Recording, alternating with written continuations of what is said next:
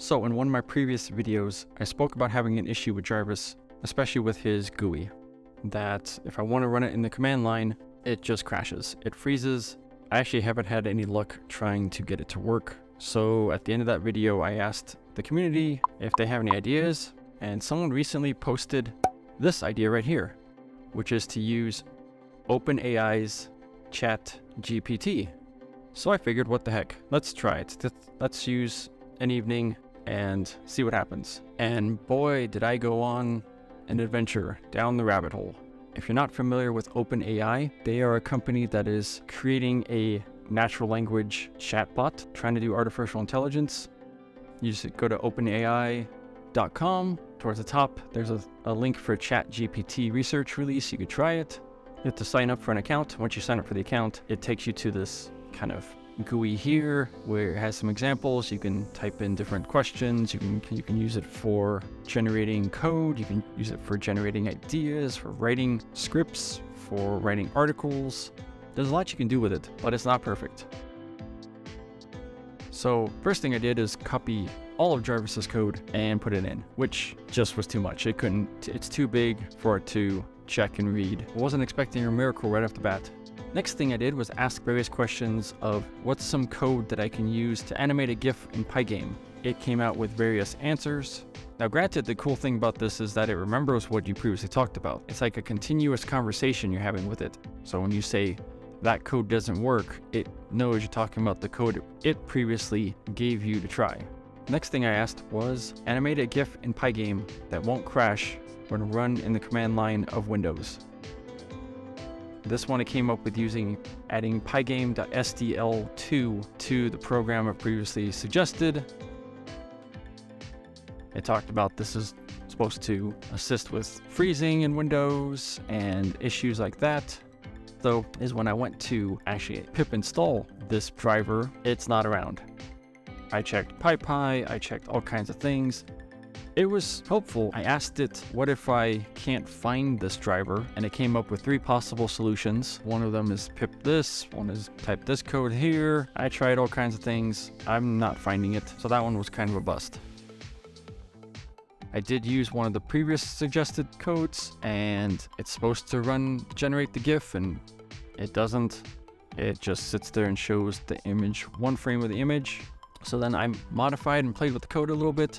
A little longer than a few minutes later. Couldn't get it to work how I wanted to, so I copy and pasted that code into my response and asked it what's wrong with this code, where it then generated something else and some other options. It's not quite giving the best ideas, but then it gave me another idea of using the pillow library and actually created the code for that. That came up with its own error, something I have never seen before, I spent some time Googling this. A few moments later. Trying to find out what's wrong with this. So I copy and pasted it back in and said, what's wrong with it? And to its credit, it actually said, oops, here's a solution. With a little copy, paste, some editing, I actually got it to work. This generates a GIF that I can run in the command line. So I thought, great, this is one step closer to the issue I'm having. You can move the window around, but then once I decided to tie everything into Jarvis, Welcome back, then I got it to freeze again, where came back to the same issues of being non-responsive. But after multiple attempts, multiple questions, all this back and forth and trying it multiple times, and after modifying and messing with threading multiple different ways and going back and forth with this a few times, I told it I want to break things now. Where it was very helpful in telling me that it understands that it's frustrating for everything that it did. It did give me a nice, polite solution to not breaking something. I will get this to work somehow, even if I have to rewrite the entire code again. Three days later. After a few days, I came across a random posting on Stack Overflow. It was an older posting with some of the answers I thought I'd seen before, but towards the bottom I noticed a line that stuck out to me. So I looked into it and found this one sentence right here. I've looked at this page multiple times trying to find an idea, and I must have skipped this. So I added this one line to the display function of Jarvis, and then I reorganized the threads.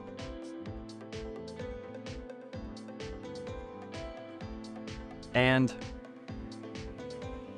Jarvis system at 100%. Holy sh! It worked. The display now runs regardless of if I open other windows. I can play music. I can watch videos. I can really do anything I want with it right now. This means I can now have the talking portion of Jarvis start up when I start the PC, or turn on at specific times of the day. Really, it's whenever I want it to. This opens up the opportunity to create some more really interesting projects with them. I did want to give ChatGPT another try, but every time I tried to access the service, I was met with a screen saying their servers were at capacity. Now, they have various sayings talking about trying again or that they are trying to increase their capabilities. It does show that more and more people are trying out this service. For me, I think it did help lead me onto the right road, even if that road was extremely curvy and a little frustrating. If you liked this type of video, give it a thumbs up. If you thought this was a waste of time and boring, give it a thumbs down. And until next time, thanks. Bye.